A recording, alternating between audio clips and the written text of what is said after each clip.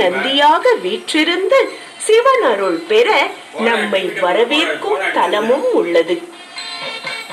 எங்கு தெரியுமா? ஆந்திர மாநிலத்தில் நல்லமலை வனப்பகுதியில்தான். நல்லமலைக்கு கிழக்கு பகுதியில் கர்னூர் மாவட்டத்தில் நந்தியாலா என்ற ஊருக்கு பதினைந்து கிலோமீட்டர் தொலைவில் அமைந்துள்ளது மகாநந்தி என்கிற கிராமம். மகா நந்தீஸ்வர சுவாமி அருள் பாலிக்கும் இந்த ஆலயம் ஆயிரத்தி ஐநூறு ஆண்டுகள் பழமை வாய்ந்தது. கிட்டத்தட்ட ஏழாம் நூற்றாண்டில் கட்டப்பட்ட இந்த திருக்கோவில் பலமுறை புனரமைக்கப்பட்டதாக வரலாற்று சான்றுகள் உள்ளன.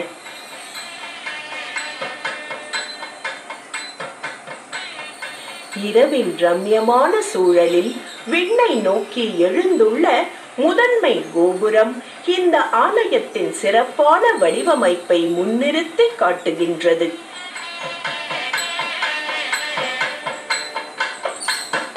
சிவபெருமான் புற்றில் இருந்ததை அறிந்த பசுவானது ஒரு தாயின் வாஞ்சையுடன் பால் சொரிந்த காட்சி காண கண்கொள்ளாத சிற்ப வடிவமைப்பு நடுநாயகமாய் இருக்க ஒரு புறம் விநாயக பெருமானும் மறுபுறம் மான் மழுவுடன் வீற்றிருக்கும் சிவபெருமானையும் தரிசித்துக் கொள்ளலாம்.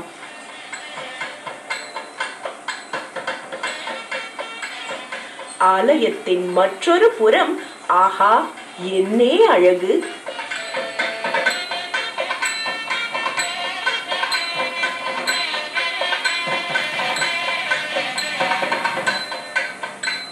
விண்ணின் நில ஒளியிலும் மண்ணின் மின் விளக்கொளியிலும் பல வண்ண கணபதிகளின் அணிவகுப்பு. வேறெங்கும் காண முடியாத அற்புதம் அல்லவா இது.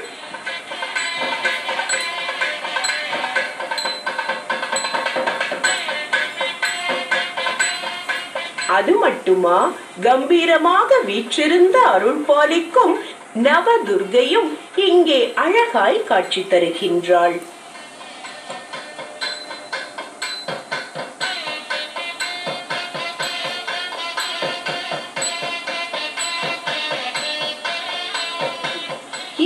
ஆலயத்தில் நித்திய பூஜைகள் நாள்தோறும் சிறப்பாக நடைபெற்று வருகின்றன.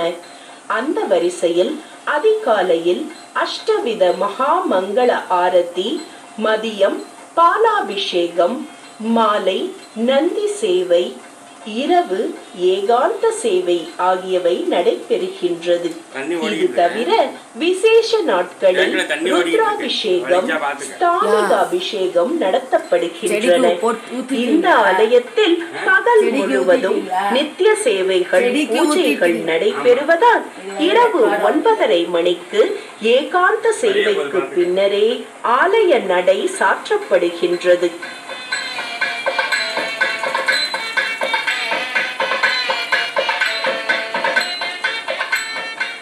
கோபுரங்களுக்கு மத்தியில் மண்டபம் ஒன்றும் அமைந்துள்ளது.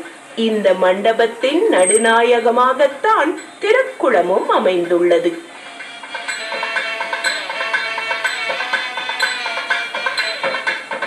சிறப்பு பெற்ற இந்த திருக்குளத்திற்கு சிவபெருமானின் பாதங்களிலிருந்து நீர் வழிந்தோடி வருகின்றது. அதற்கென இந்த திருக்குளத்தில் வழித்தடங்களும் அமைந்துள்ளன.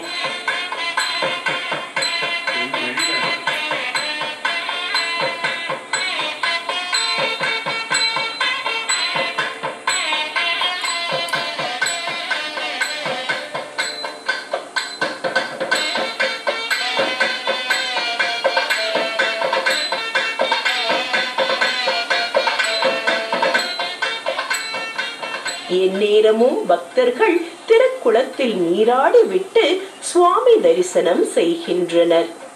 பல்வேறு சிறப்புகளை கொண்ட இந்த ஆலயத்தில் லிங்கத்தின் மீது எக்காலத்திலும் புனித நீர் அபிஷேகம் நடந்து கொண்டிருக்கும் அற்புதத்தை காணலாம். அது மட்டுமல்ல எந்த ஆலயத்திலும் இல்லாத வகையில் சிவலிங்கத்திலிருந்து வழியும் நீரை நாமும் ஸ்பரிசித்துக் கொள்ளலாம். சாதாரணமாக கருவறையிலிருந்து சில அடிகள் தொலைவில் நின்று மட்டுமே சுவாமியை தரிசிக்க இயலும். ஆனால் இந்த ஆலயத்தின் தனிச்சிறப்பு கருவறைக்குள் சென்ற நாம் சுவாமியை தரிசிப்பதோடு ஸ்பரிசிக்கவும் முடியும் என்பதே.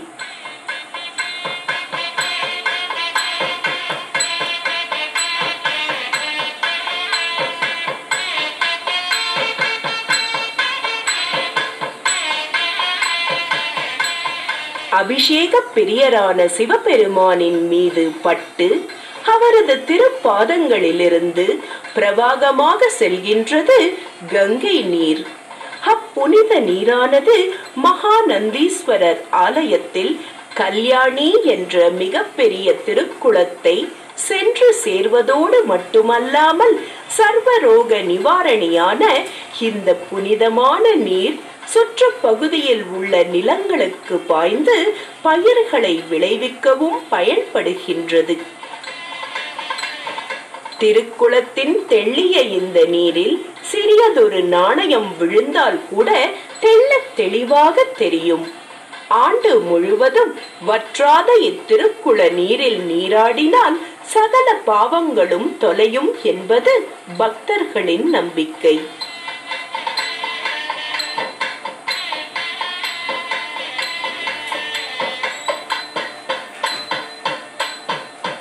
இந்த பகுதியில் ஐந்து நீர்வீழ்ச்சிகள் உண்டு. பிரம்ம குண்டம் விஷ்ணு குண்டம் ருத்ர குண்டம் நந்தி தீர்த்தம் திமோதினி நீர்வீழ்ச்சி என்ற ஐந்து வகை அருவிகள் சுவாமியின் திருப்பாதங்களிலிருந்து செல்கின்றன என்று புராணங்கள் எடுத்துரைக்கின்றன. இந்த நீரானது குளிர்காலத்தில் சூடாகவும் கோடை காலத்தில் குளிர்ந்த நீராகவும் மாறும் அதிசய தன்மை கொண்டது. அதிகாலையில் வெதுவெதுப்பாக இருக்கும் இந்த நீரானது வெப்பநிலை மாற்றத்திற்கேற்ப குளிர்ந்த நீராகவோ அல்லது வெதுவெதுப்பாகவோ மாறிவிடும் தன்மையை இன்றளவும் நாம் காணலாம். லிங்கேஸ்வரனின் பாதத்தை நீராட்டியபடி கங்கை நீர் ஐந்து துளை வழியாக பிரவாகமாக வெளியேறுகின்றது. இந்த நீரானது ஆலய கோபுரத்தின் வெளியில் உள்ள இரண்டு முகங்கள் வழியாக வெளிவருகின்றது. ஆண்டு முழுவதும் சுத்தமான நீர் இங்கு கிடைக்கின்றது. தேடி கிடைக்காத அற்புதம் இதுவாகும். இங்குள்ள சிவலிங்கத்தின் மேல் பாகம் தட்டையாக காணப்படுகின்றது. இதற்கு ஒரு கதை உண்டு. ஒரு சமயம் இந்த பகுதியில் மேய்ச்சலுக்கு வந்த பசு ஒன்று பொற்றுக்குள் இருந்த சிவலிங்கத்திற்கு பால் சொரிந்தது. இதனை கண்ட அதன் எஜமான் பசுவினை அடிக்க பசு காலை புற்றுக்குள் ஊன்றிக் கொண்டது. சிவலிங்கத்தின் மேல் பகுதியில் பசுவின் குழம்புகள் பட்டன. இதனால் லிங்கத்தின் மேல் பகுதி பசுவின் குழம்பு பட்டதால் அந்த தடயத்துடன் தட்டையாகவே காட்சி தருகின்றது என்றும் கூறுவர் பக்தர்கள்.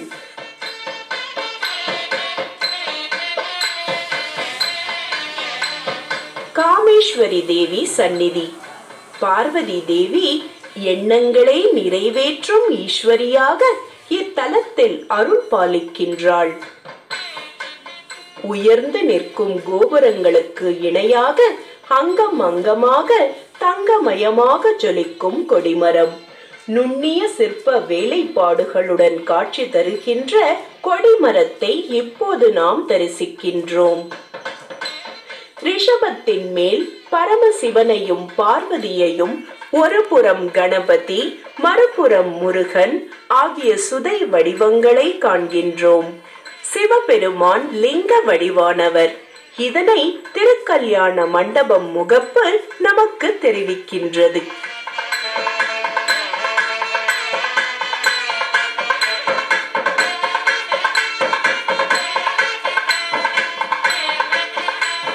விண்ணை முட்டி நிற்கும் விதமாக சூரிய ஒளியில் தகதகவென்று மின்னும் கொடிமரம் நம் எண்ணத்தை கட்டி வைத்து ஈசன் முன்னே கொண்டு நிறுத்தும் விதமாக காட்சி தருகின்றது. கொடிமரத்தை வணங்கிச் சென்றால் இறையருள் பரிபூரணமாக கிட்டும்.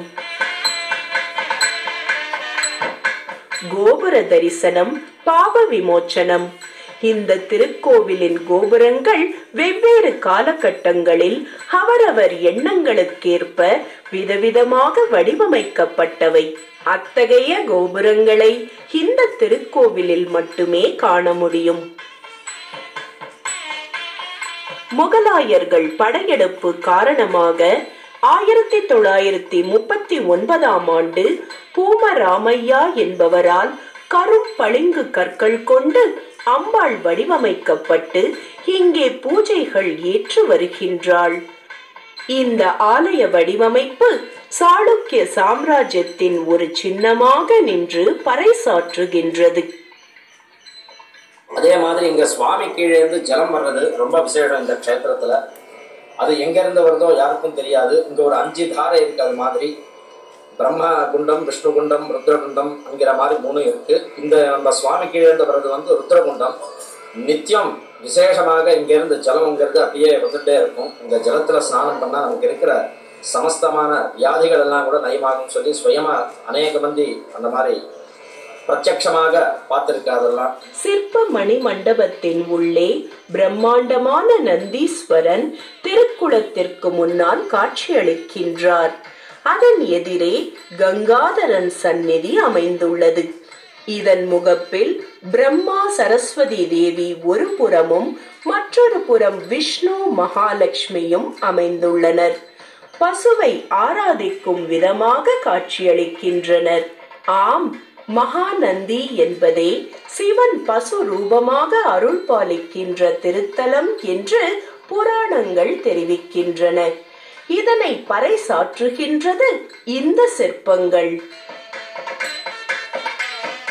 லிங்கம் காட்சி தரும்.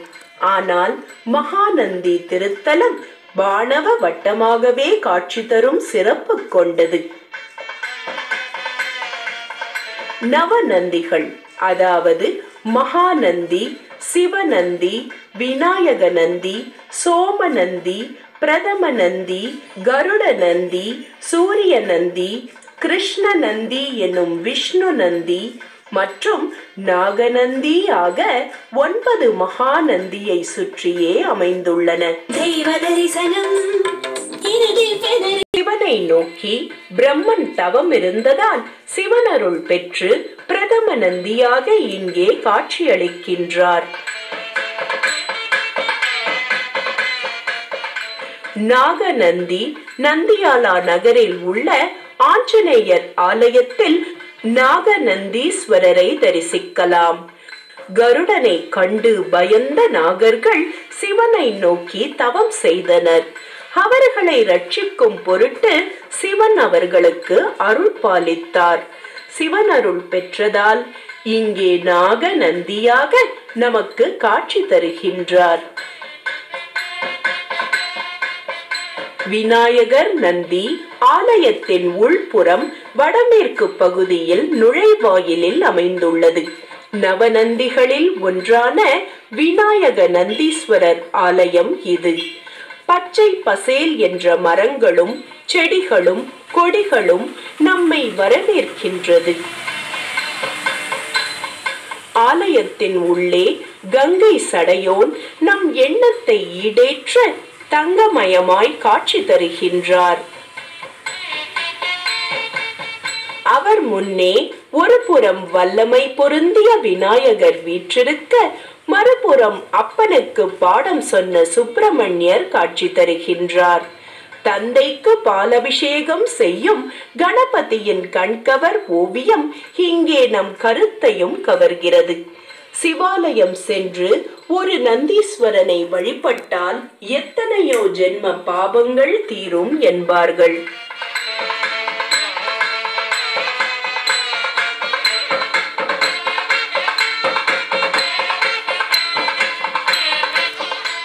கருட நந்தி மகாநந்தி ஆலய வளாகத்திலேயே அமைந்துள்ளது.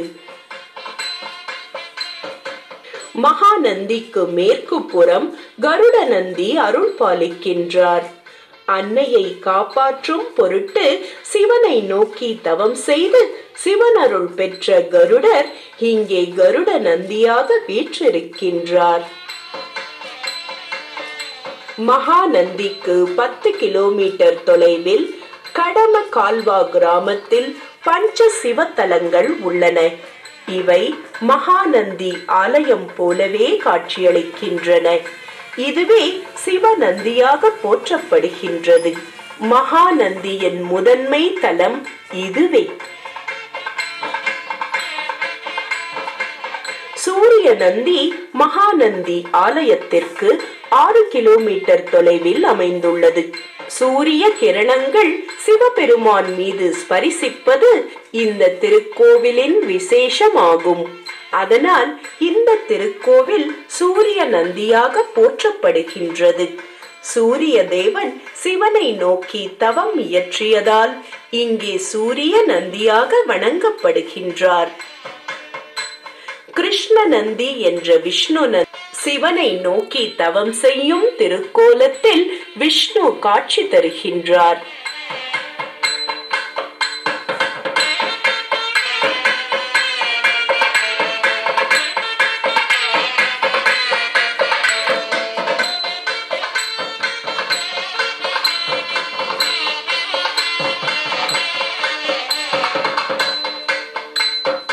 சோமநந்தி சோம என்றால் சந்திரன். ஈசனை நோக்கி சந்திரன் தவம் இயற்றியதால் சோம நந்தியாக வணங்கப்படுகின்றார்.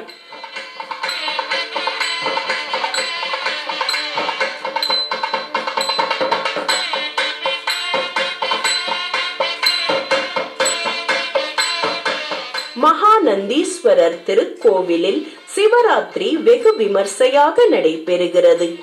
மகாநந்தியின் சிலை வடிவம் ஆந்திர மாநிலத்தின் ஒரு அடையாளமாகவே திகழ்கின்றது.